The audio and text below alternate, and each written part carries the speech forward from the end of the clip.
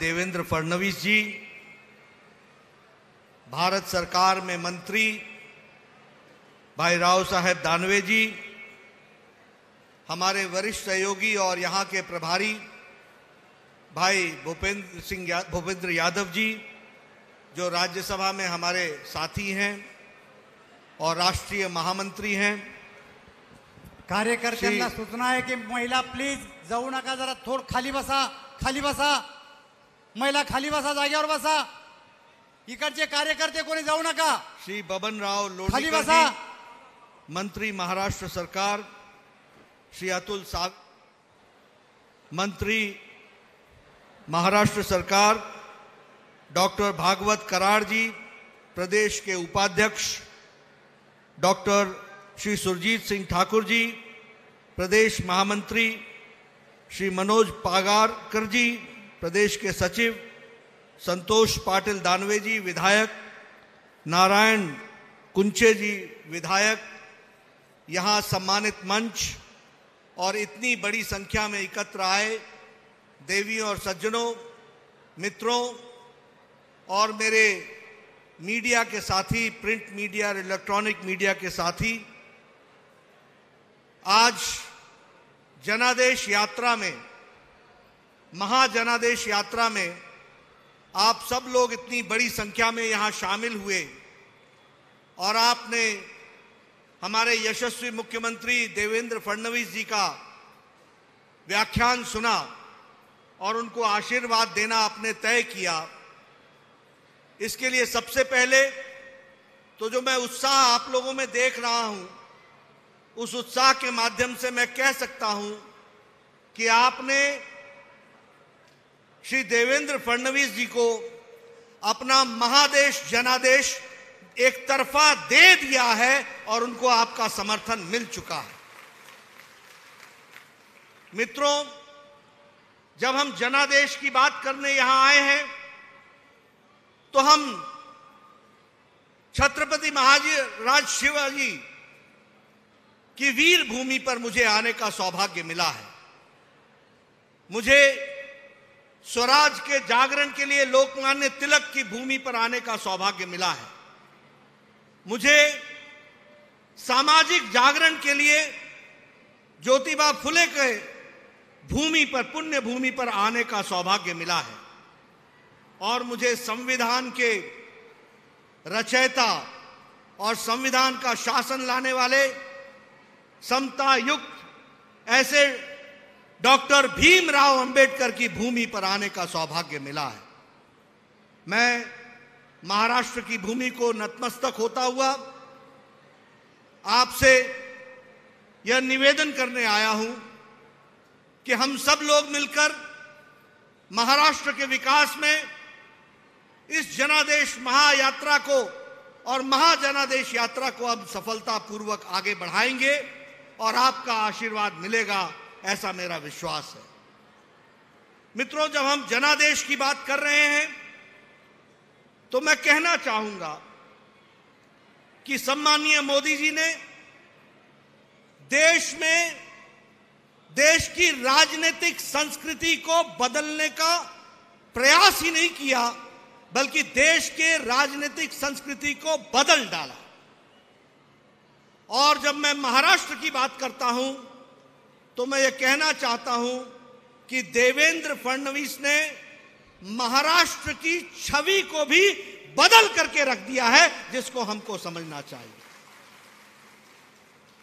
आदरणीय मोदी जी ने जब हम कहते हैं कि देश की राजनीति की छवि बदल दी तो इसका मतलब है कि देश में इससे पहले, मोदी जी के शासन से पहले, जिस तरीके की राजनीति चल रही थी अपीजमेंट की राजनीति, तुष्टीकरण की राजनीति, भ्रष्टाचार की राजनीति, अनाचार की राजनीति, सत्ता में बैठ करके अपने लोगों को सत्ता से जोड़ करके देखने की राजनीति, सत्ता का उपयोग करते हुए अपने लोगों को बढ़ाने की राजनीति, इन सारी राजनीति को समाप्त करके देश में भ्रष्टाचार मुक्त शासन आदरणीय मोदी जी ने दिया और राजनीति में एक नया आयाम खड़ा किया।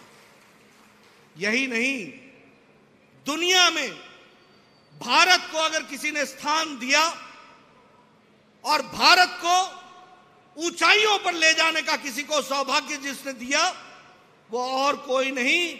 हमारे आदरणीय नरेंद्र मोदी हैं जिन्होंने इसको पूरा करके दिया। और मैं अगर महाराष्ट्र की बात करूँ तो ये आपके हमारे लाडले देवेंद्र फडणवीस हैं, जिन्होंने भ्रष्टाचार युक्त महाराष्ट्र की छवि बदल करके भ्रष्टाचार मुक्त भारत, मुक्त महाराष्ट्र की छवि को स्थापित किया, इसको हमको समझना चाहिए। और इतना ही नहीं, इन्होंने विकास को आगे बढ़ाया, और विकास को आगे बढ़ाने के साथ साथ आप लोगों का विश्वास भी जीता, इसको भी हमको ध्यान में रखना चाहिए। मित्रों, जब मैं यहाँ आया हूँ और जब मैं मोदी जी के छवि के बारे में और संस्कृति के बदलाव के बारे में चर्चा कर रहा हूँ तो धारा 370 जो हम सब लोग, यहाँ बैठे लोग, अपने बचपन से एक नारा लगाते थे एक देश में दो निशान, दो विधान, दो संविधान, दो प्रधान नहीं चलेंगे नहीं चलेंगे। इस नारे को सही मायने में, सही तरीके से, संविधान की दृष्टि से रखते हुए आज मोदी जी ने बता दिया कि एक देश में एक निशान, एक विधान, एक संविधान और एक प्रधान होगा, इस बात को स्थापित करके रख धारा 370 हम सब के लिए बहुत ही हर्ष का विषय है।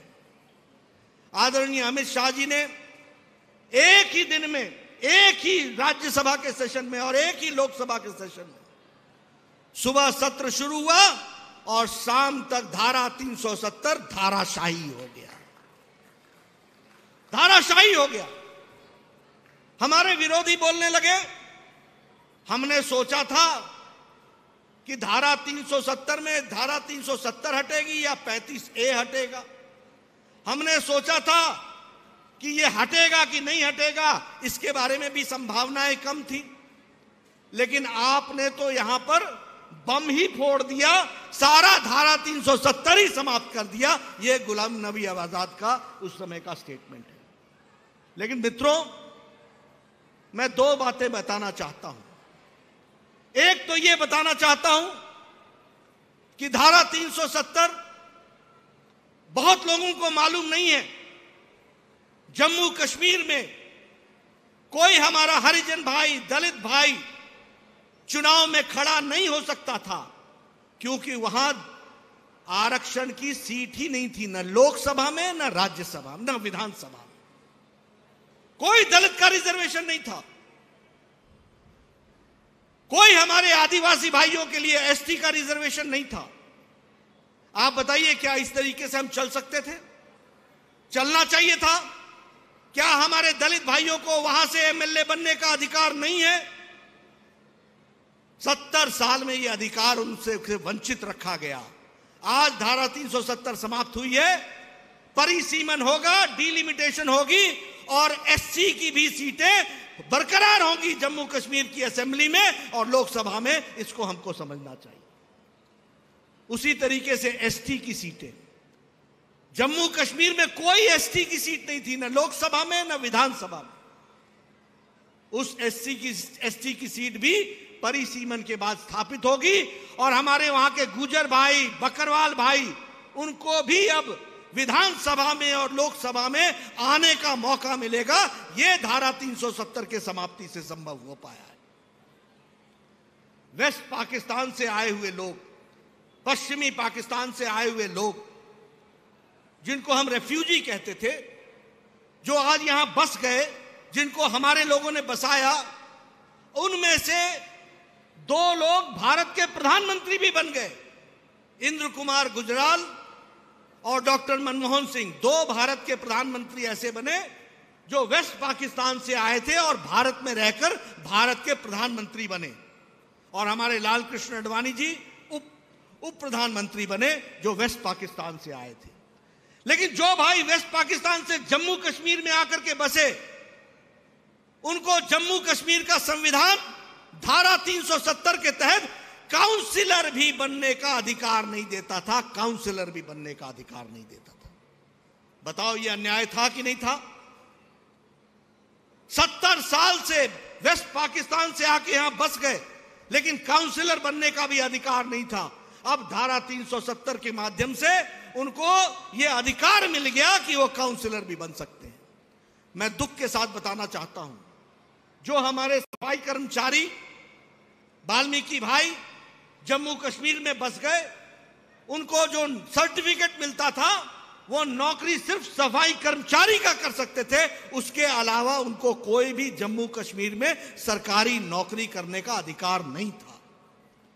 भारत के संविधान से, भारत के संसद के अधिकार से 108 कानून पास हुए थे 108 कानून। ये कानून सारे देश में लागू होते थे। लेकिन जम्मू कश्मीर की धरती पर यह कानून लागू नहीं होते थे। आज धारा 370 हट गई 108 के 8 कानून अब जम्मू कश्मीर की भी धरती पर लगेंगे और वहाँ पर भी आम आदमी को उसका लाभ मिल सकेगा, इस तरीके की परिस्थिति खड़ी हुई है। यह हमको समझना चाहिए। और मित्रों, कांग्रेस वाले जो राजनीतिक विरोध कर रहे हैं वो वोट बैंक की राजनीति कर रहे हैं। वो वोटों को ध्यान में रख करके कह रहे देश हित में नहीं रख रहे हैं।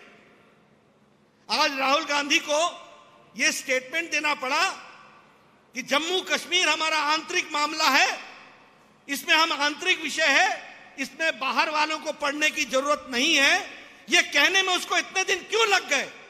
यह कहने में उसको इतने दिन इसलिए लग गए क्योंकि वह वोट बैंक की राजनीति कर रहे थे।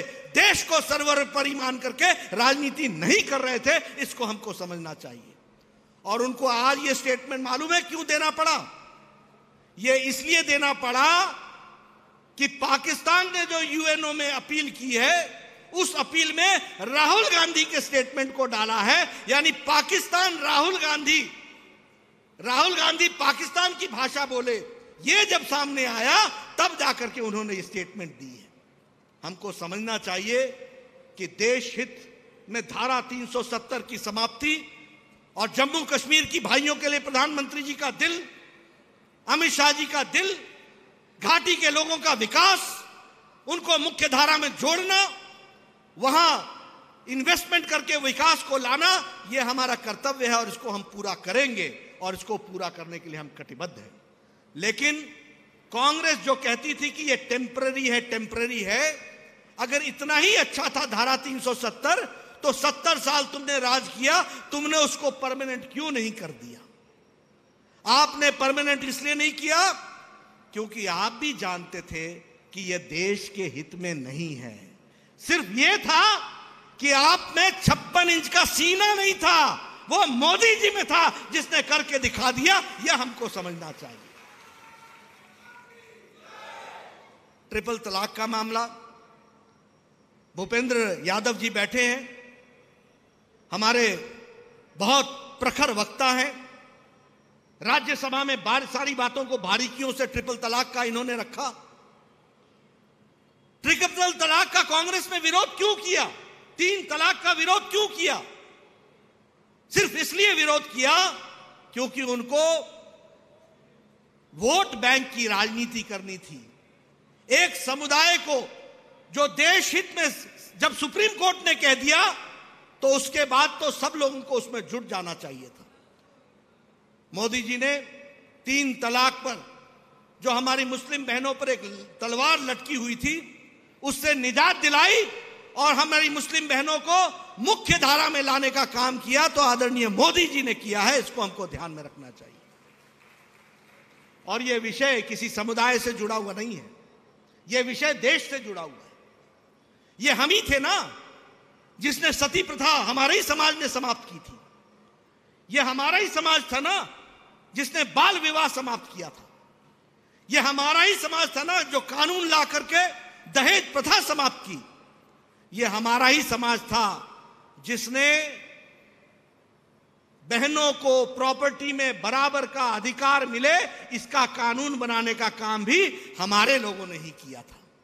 इसलिए समाज की कुरीतियों के खिलाफ लड़ना, यह हमारा निश्चित रूप से जिम्मेवारी है, जिस जिम्मेवारी को हम पूरा करने के लिए कटिबद्ध हैं और उनको हम आगे बढ़ा रहे हैं। मित्रों, अगर हम इसके साथ साथ विषयों के बारे में चर्चा करें तो जो विकास आदरणीय मोदी जी के नेतृत्व में हुआ है, इन पचहत्तर दिनों के अंदर उसको भी हम कभी भूल नहीं सकते। पचहत्तर दिनों के अंदर, धारा 370 साफ़ त्रिपल तलाक, साफ़। प्रधानमंत्री किसान सम्मान मानधन योजना। प्रधानमंत्री किसान पेंशन योजना। प्रधानमंत्री सम्मान योगी पेंशन योजना। ये सारी योजनाओं को अगर हम देखें, एक तरफ़ हम किसान भाइयों के लिए बहुत से किसान नेता पैदा हुए और किसान नेता के रूप में जाने गए। लेकिन किसान के सम्मान के लिए मानधन देने का काम अगर किसी ने किया तो वो आदरणीय प्रधानमंत्री श्री नरेंद्र मोदी जी ने किया जिन्होंने साल भर में साढ़े चौदह करोड़ लोगों को छह हज़ार रुपए उनके किसान के किसान को बढ़ाने के लिए काम में लगाया। इसको हमको ध्यान में रखना चाहिए। और हमने इसके लिए 87,000 करोड़ रुपीस का प्रावधान करके खर्च किया। किसानों के बारे में चर्चा तो बहुत हुई, लेकिन 60 साल के बाद किसान को पेंशन मिले। किसी ने भी आज तक हिम्मत नहीं की, लेकिन साढ़े चौदह करोड़ किसानों को पेंशन मिले और तीन हज़ार रुपए साठ साल की उम्र के बाद मिले। ये योजना अगर किसी ने चलाई और इसको पचहत्तर दिन के अंदर अगर जिसने, जिसको फैसला कर दिया, वो प्रधानमंत्री श्री नरेंद्र मोदी जी ने कर दिया, हमको ध्यान में रखना चाहिए। लगभग तीन करोड़ छोटे व्यापारी, खुदरे व्यापारी ट्रेडर्स उनको पेंशन मिलनी चाहिए। इस काम को अगर किसी ने हाथ में लिया तो वह प्रधानमंत्री श्री नरेंद्र मोदी जी ने लिया, और उनके सम्मान के लिए पेंशन योजना 60 साल की उम्र में तीन हज़ार रुपए पेंशन मिले, ऐसे तीन करोड़ छोटे दुकानदारों को उन्होंने ये ये इंतज़ाम किया, जिसको हमको ध्यान में रखना चाहिए। ऐसी विशेष योजनाओं को हम लोगों ने आगे बढ़ाने का प्रयास किया। अगर हम उज्ज्वला योजना की बात करें, आठ करोड़ महिलाओं को गैस का कनेक्शन, महाराष्ट्र में इकतालीस लाख बहनों को गैस का कनेक्शन। अगर हम उजाला योजना की बात करें तो एलईडी बल्ब्स करोड़ों के हिसाब से लोगों को लगाने के हम लोगों ने सौभाग्य दिया। हम लोगों ने इस, इसका प्रावधान किया। उसी तरीके से अगर हम बात करें महिलाओं की तो महिलाओं के लिए नारी तु नारायणी के तहत हर महिला को, सेल्फ हेल्प ग्रुप की महिला को पाँच हज़ार रुपए का ओवरड्राफ्ट देने का प्रावधान किया और हर सेल्फ हेल्प ग्रुप को एक लाख रुपए लोन लेने का प्रावधान प्रधानमंत्री श्री नरेंद्र मोदी जी ने किया। यह है विमेन एम्पावरमेंट महिला शक्ति। और महिला शक्ति को शक्ति देना, यह काम प्रधानमंत्री मोदी जी ने इन पचहत्तर तहत पचहत्तर दिनों के अंदर कर दिया, जिसको हमको ध्यान में रखना चाहिए। विकास की अनेक गाथाएँ हैं, विकास के अनेक कार्यक्रम हैं, जिनको नीचे तक पहुँचाने का काम आदरणीय प्रधानमंत्री जी ने किया है। और उसको हमको ज़मीन पर ले जाने का काम हम सब लोगों ने करना है यह आपसे मैं निवेदन करने आया हूँ। मित्रों अगर हम आयुष्मान भारत की बात करें, जो आदरणीय मोदी जी ने दिया, दस करोड़ चौहत्तर लाख परिवार, पचपन करोड़ लोग, अब पचपन करोड़ लोगों का मतलब आप समझ सकते हैं कि भारत के कम से कम 40 प्रतिशत की आबादी को पाँच लाख रुपए का एनुअल कवरेज और 23 सितंबर को इस कार्यक्रम को शुरू किया। आज 34 लाख लोगों ने इसका लाभ उठा लिया। 6100 करोड़ रुपए हॉस्पिटल्स को दिए जा चुके हैं और 34 लाख लोगों की जानें बचाई जा चुकी हैं। यह है आयुष्मान भारत, जिसको हमको समझना चाहिए। मैं जब स्वास्थ्य मंत्री था तो मैं जब अंतर्राष्ट्रीय फोरम वर्ल्ड हेल्थ असेंबली में जाया करता था तो भारत इंडिया लिखा होता है, आई। और अल्फाबेटिकल ऑर्डर से हमको बिल्कुल पीछे बैठने का मौका मिलता था। जब मैं 2018 में वर्ल्ड हेल्थ असेंबली में गया तो वर्ल्ड हेल्थ असेंबली के डॉक्टर ट्रेजरोस जो वहाँ के डायरेक्टर जनरल हैं, उन्होंने कहा, mister Nadda come forward world wants to know Modi ji is Ayushman Bharat and everybody should replicate this is Modi and this is Ayushman Bharat. कहा, नड्डा, आप आगे आओ, दुनिया को बताओ कि आयुष्मान भारत क्या है। दुनिया जानना चाहती है और दुनिया इसको फॉलो करे। भारत ने लीड ली है, यह बात आयुष्मान भारत के बारे में कही। इसलिए मित्रों, मोदी जी ने देश की संस्कृति को बदल दिया। देश की राजनीतिक संस्कृति को बदल दिया। आम गरीब आदमी के लिए काम करने वाली सरकार, गरीब, पिछड़ा, वंचित, दलित जो विकास के पायदान में सबसे पीछे खड़ा है, उसको मुख्य धारा में लाने का काम आदरणीय मोदी जी ने किया। वैसे ही हमारे देवेंद्र फडणवीस जी ने महाराष्ट्र की छवि बदलने का काम, जैसे मैंने कहा, वो कर दिखाया है। महाराष्ट्र की छवि क्या थी पाँच साल पहले?